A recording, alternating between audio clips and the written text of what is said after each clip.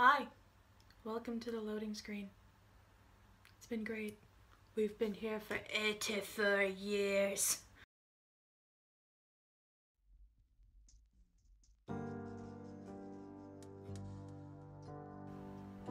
Are we gonna get to a title page? Please tell me this is an actual, uh, you know what, whatever, I'll just talk to my audience. Hello you beautiful people, I'm Alexandra TG. and welcome to the bottom of the well. Um, oh, we do have a title screen, yay! So, I don't know much about it. It was free on Steam, it was highly reviewed, it was an RPG puzzle interactive story game.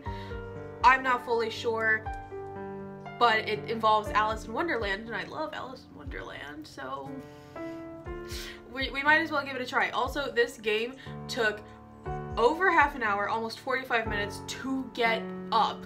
Like, it took me 45 minutes to actually get into this game, so it better be worth it. Everything better be recording. Everything better be recording. I don't want anything to go wrong. Welcome to Bottom of the Well. This game is a visual novel, meaning it is a mainly text-based piece of interactive fiction, a book where you get to decide what happens next.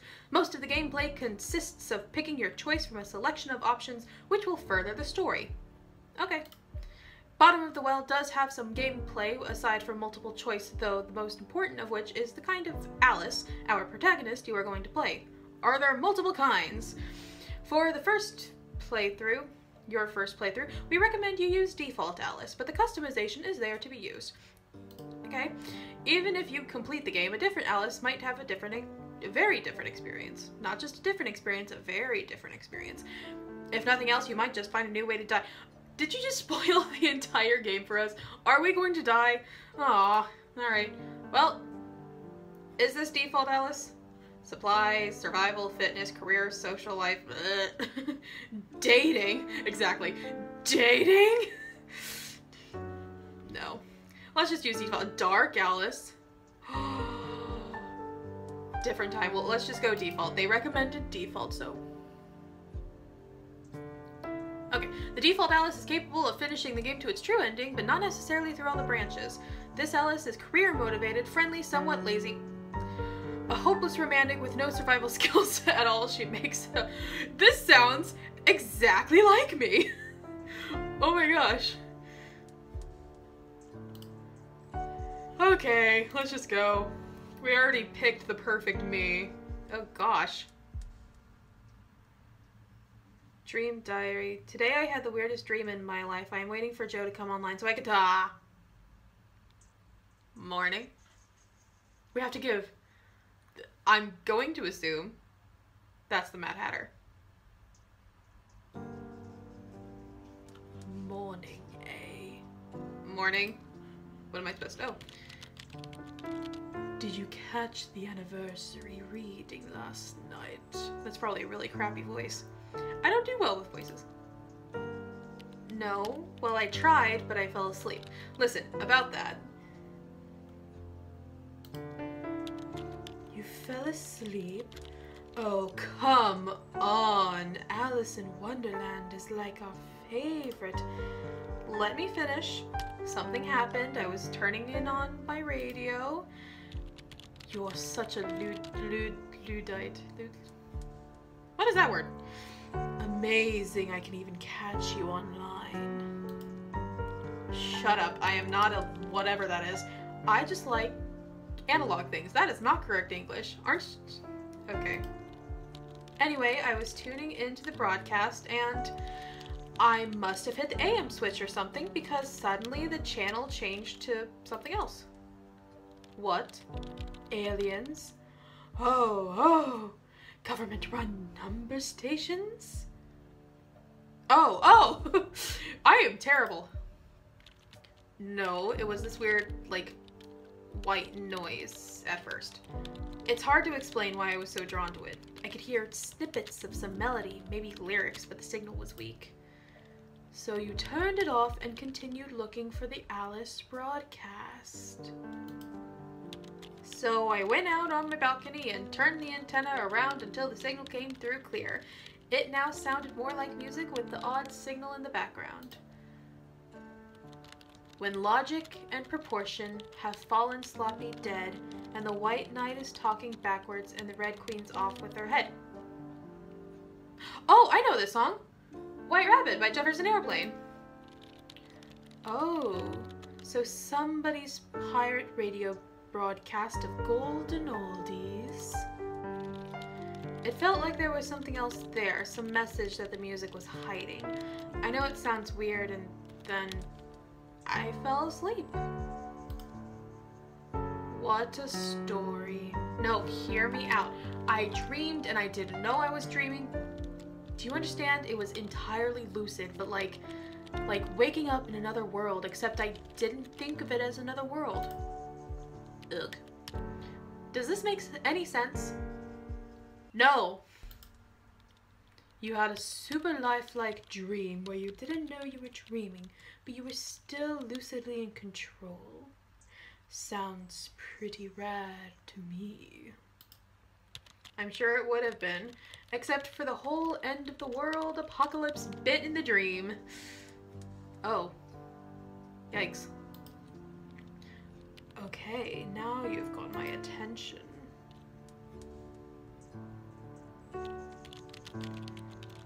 So like I said, it was the end of the world. Everything I did that day felt like the real thing. Every smell, every sound, every color, every touch. It's important you know that. I wasn't acting like I would in a dream. I didn't know it was a dream. Heavy. Mad H. Mad Hatter. Duh. there was no warning, no build up, nothing. Just between one moment and the next, the TV had turned to the emergency alert system, and this voice that sounded like it had been recorded in the 60s told us we were under attack. Were you alone? Yeah, I had had a really long day at the office, so I had sworn off all social contact for the evening. I had the TV on in the background just as noise. Wait, what? The office? You mean you've got some kind of real adult person job in this dream of yours? Yeah, actually. At the college student admissions office. Hey, don't sound so surprised. I am going to graduate in just a few months, you know. Uh-huh. With a BA in English Lit. She is getting her Bachelor's of Arts in English and she was messing up grammar. No judgment, no judgment, no judgment. Shut up. Such skill with words. Anyway, what happened next? Like I said, this TV suddenly turned to the emergency alert system. Jacked the volume all the way up to... I didn't even know they could do that. Oh, jacked the volume all the way up too. I didn't know that. Okay. The broadcast told us we were under attack right now and we needed to get to a shelter that we had less than 30 minutes before the bombs hit. Jesus. Sounds scary. At first I didn't want to believe it. I switched the channel, but they were all the same. And then the sirens started. Tornado sirens. Flood sirens. I don't know. And I knew things were serious. I just noticed this, uh, time, date, place, and stuff here. It is not Sunday, September 18th. Clearly. It's not almost 9. It is cloudy, though. So what'd you do? Ooh. I immediately tried to call Chess. Chess? Oh, Chess. Who's that? My, um, boyfriend. Okay, she's no longer me because she's in a relationship of some form. I mean, I don't have a boyfriend, but in my dream I did. Oh, then it is me. Dreaming of having a boyfriend. I am relating a little too much to this, except for the whole apocalypse thing. Wait up. Tell me more about this sudden new boyfriend of yours. I thought you weren't in the dating scene. Actually, I've been thinking about putting myself out there. Like, maybe some online dating or something. How old are you? Although I'm kind of afraid to check OkCupid right now. What if there's a guy there named Chess? Good icebreaker. Hi, I'm Alice. I dreamed about you last night. You were my end of the world buddy. Funny. Aren't I just? You were saying about chess. What kind of a name is that anyway? I wasn't really. I mean, yeah, he was pretty hot, I guess. I guess. and smart and into me. What more could you ask for? Personality? I can sense you blushing all the way over here. Maybe I, oops, maybe I should check my OkCupid profile actually. You have one already? So what did your boyfriend think? Well, first I tried calling him, but all I got was a pre-recorded network busy message. But the net still worked, so I hit him up there. I mean, we did most of our communications in chat anyway. And and I found him, but there was no time for well anything. I started typing, you know. Holy hell, WTF is going on style stuff, and he just tersely replied he had to go. That's a little blunt. He told me he needed to go get his sister. His sister? How come?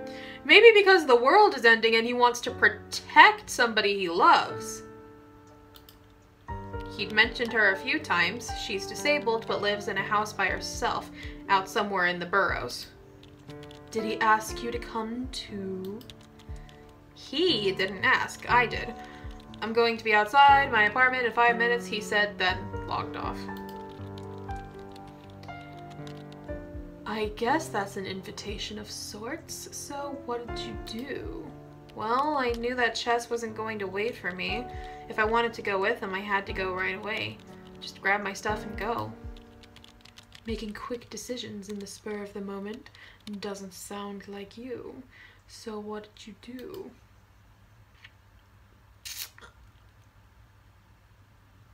In the spur of the moment, yes, it's you can be very methodical, you can be very organized like Alice is and like I am.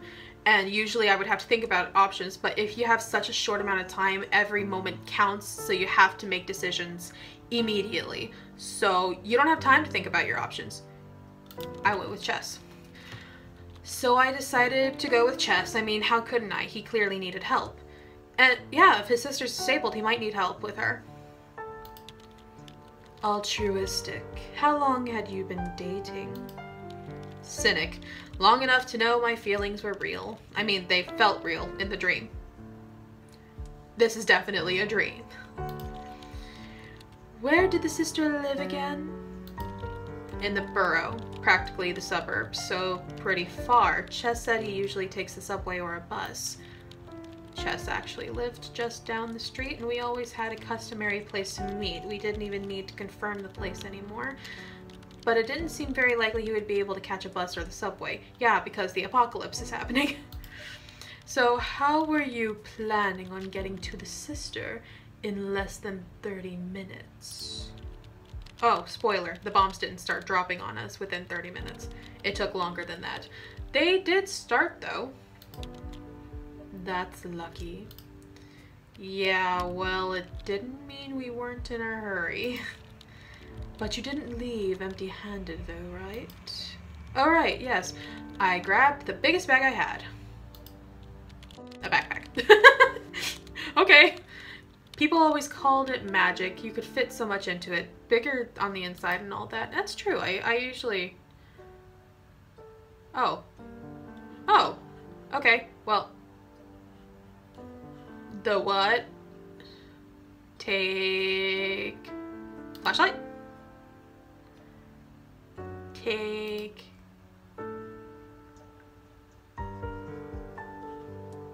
take food. Take food. Can I fit everything in there? Oh, no. Okay. Only three things. Cool. What are these?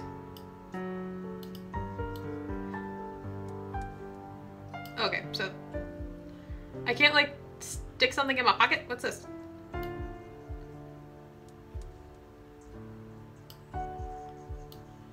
Okay, I guess we have that on us. Um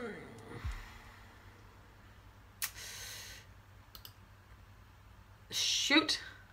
We don't need spare clothes. Not in the apocalypse. No. Everybody wears the same clothes in the apocalypse. We do need food though. Radio. Are you sure we can't take this? Okay, fine. Go on, Borough, sister. Bombs incoming. How did you plan to get there in the chaos? The chaos. Yeah, the streets were nuts. Everything and everyone was going crazy, crashes everywhere, but no one was responding. The street was completely gridlocked. I'm talking maybe 15 minutes after the first announcement here. All it takes is a few cars in the wrong place. 15 minutes? I would have expected like three. But you live pretty centrally, right? It had to be better further out. Did Chess have a car? No. But if we wanted a car, there were tons around. People just left them keys in the ignition and ran. Sounds about right. Holy shit. It must have been... It mu- It really must have been... been I'm sorry. it was. I was so scared. So, steal a car or walk? We discussed walking. It was like 14 miles or something. It'd probably take us at least four or five hours on a good day, and this wasn't a good day. Maybe a good start though. Things might clear up outside the downtown area, and you might be able to steal a car there. Appropriate a car. Stealing sounds so criminal. Whatever you say. Any other options except stealing, appropriating a car and hoofing it?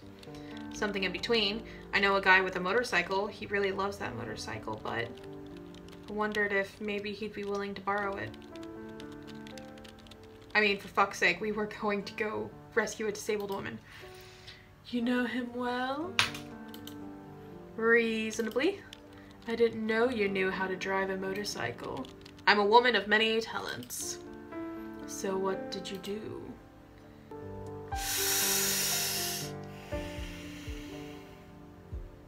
Well, we can't walk. Fully. Walk out of the worst chaos, though. Yeah, there might be a car, but there might not be. So, something else to think about. Appropriating a car? No, because it's just too much you live in a city, in, a central city, and it's going to be crowded. You would never get out of there if you try appropriating a car first, darn bracelet. Motorcycle. Bugger, bugger, bugger, bugger, bugger, bugger, bugger. Let's... Let's motorcycle, because walking will still take a lot of time. The motorcycle seemed like a good idea at the time, except that when we arrived at his building, the first thing I saw was him outside prepping his ride together with a group of similarly attired, similarly equipped motorcycle guys. So much for borrowing a motorcycle then. He recognized me when I approached. He looked pretty distracted, packing up the saddlebags on the motorcycle with all kinds of things, but he stopped for a second to talk. Do we have that? Okay.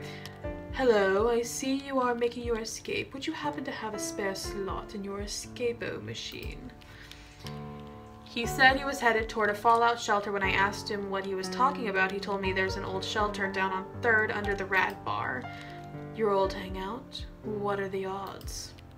Anyway, he said he could take me, that he knew the owner of the place. Sounds like a good alternative. What did you think? Well, Chess immediately said no thanks. He looked at me. What did you tell him? Shoot. It's it's hard to think logically about these things because you could survive. Could survive. This is a very good chance of surviving. But if you go, there's a possibility that all of you will die you, Chess, his sister, everybody. But there's also the chance that you could save her. And that chance is better than being selfish and forcing Chess to try to save somebody all on his own. So let's go get her sister. So no daring escape into the sunset on your motorcycle with bombs going off behind you. What a pathetic excuse for a power fantasy this dream of yours is. That was Rude. Rude. Rude. Hmm. I don't think it was it ever was a power fantasy. or necessarily fantasy at all. Anyway, I still had to I still had to make a choice and I had already lost a lot of time. Fudge. Oh, this is so tough. I don't know. Spoiler alert, I would so die in the apocalypse. I would be one of the first ones dead in this kind of situation. After the fact, if I'm still alive, I would be the best person to have. But when it comes to this stuff, getting into the apocalypse, I am the worst. So I wouldn't know what to do. So we're going to we're gonna walk past the worst. I hope I didn't just kill all of us.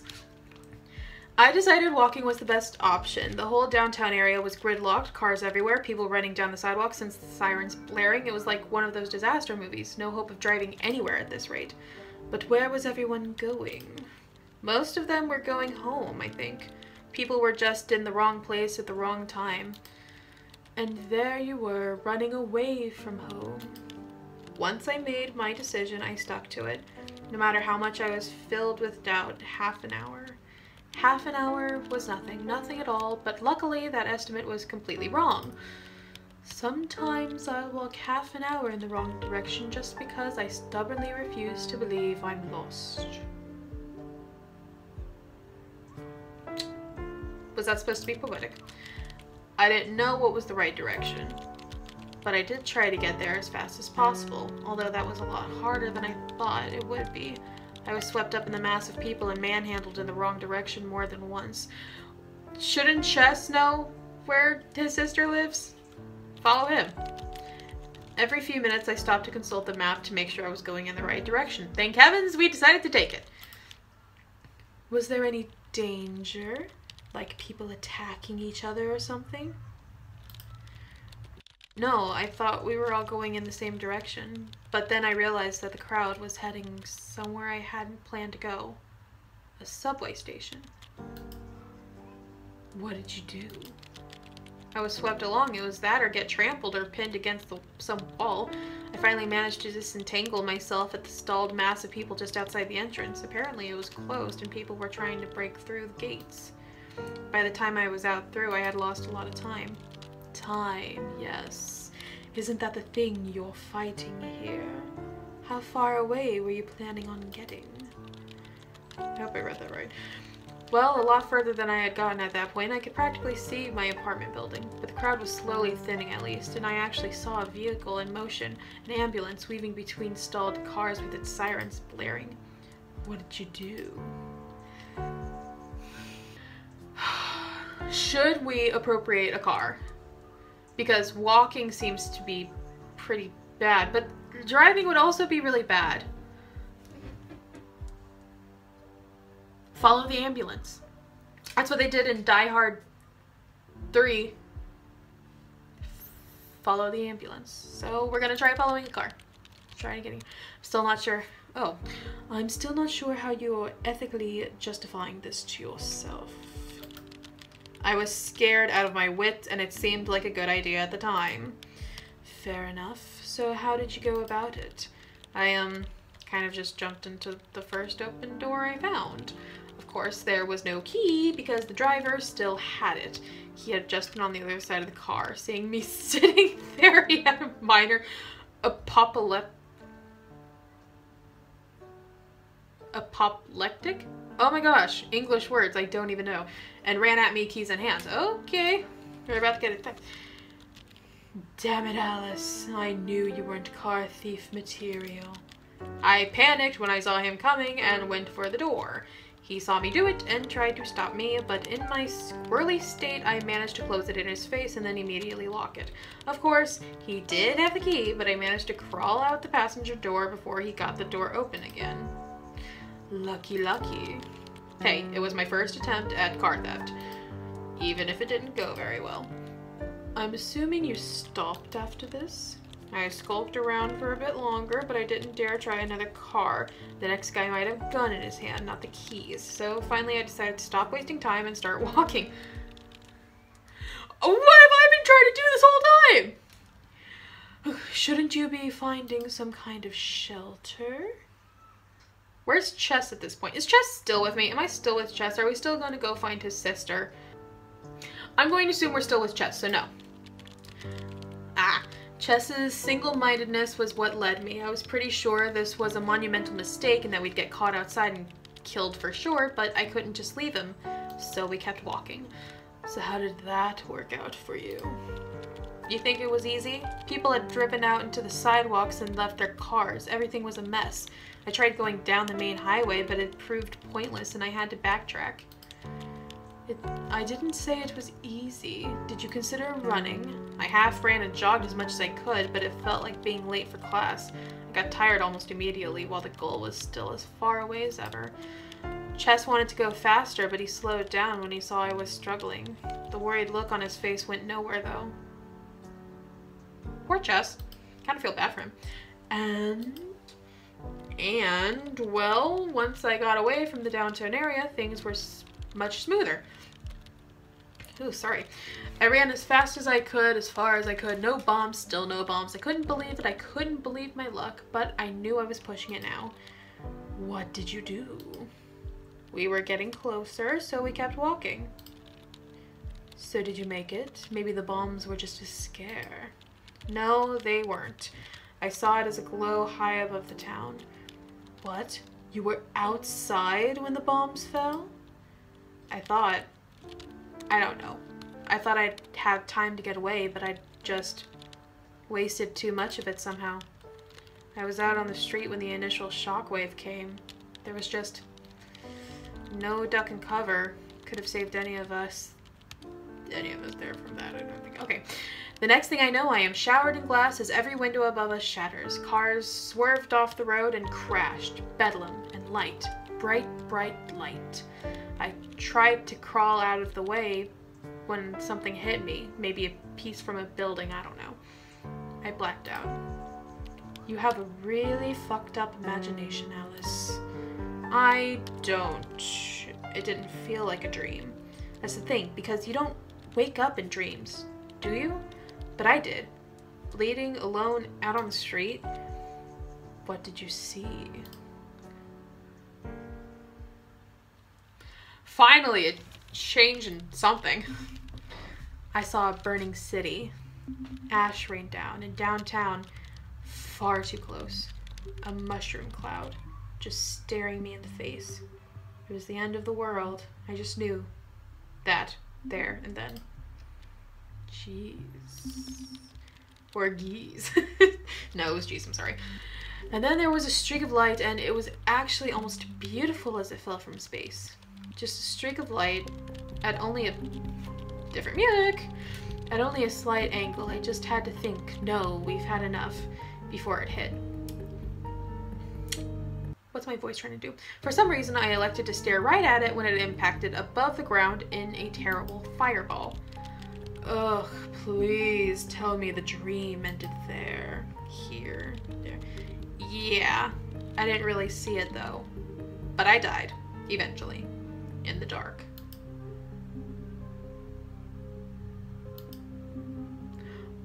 And, and thus concluded my dream.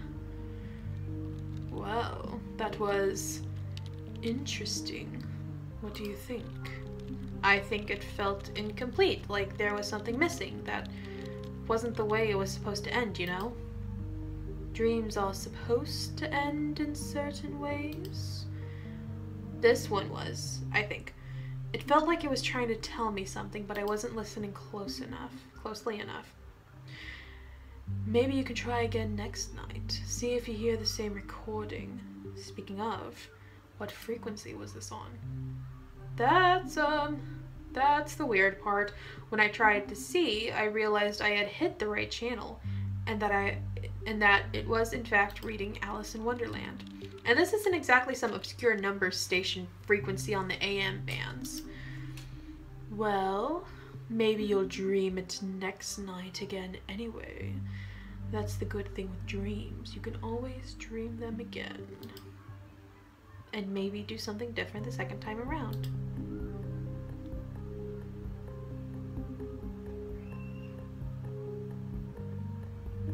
Please don't tell me that's it.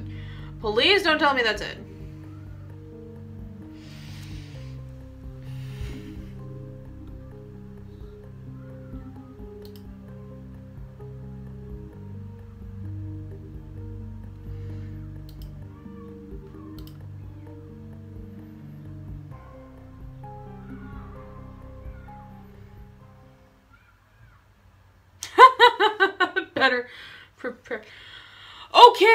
Well, that was that.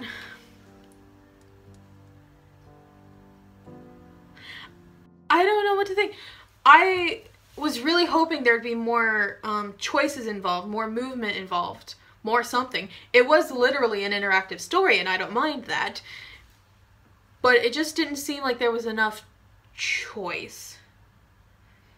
So maybe it's just because I got boring old default Alice. Maybe it's because I was stupid with my decisions. It's probably why I died, is because I was stupid with my decisions.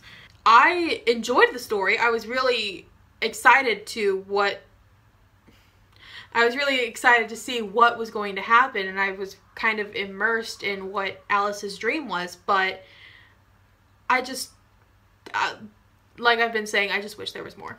I really hope this whole thing's been worth it. I really hope you enjoyed this. Maybe we'll come back to it because I might want to try Dark Alice. See how she dies.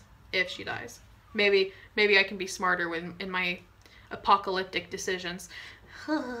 anyway, but the game is free on Steam if you guys want to check it out and I do recommend you do because there are so many different endings. There are different kinds of Alices. You can customize your Alice. So maybe you'll actually survive the apocalypse as opposed to me. But that is all I have for this video. Thank heavens it's over. I'm sorry, but this kind of stressed me out a little bit. If you enjoyed this video anyway, give it a like. Thank you, you beautiful people, for watching and stay weird. Bye!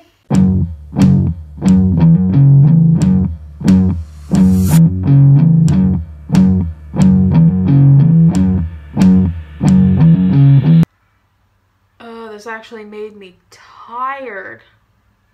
And it's only like 2 in the afternoon.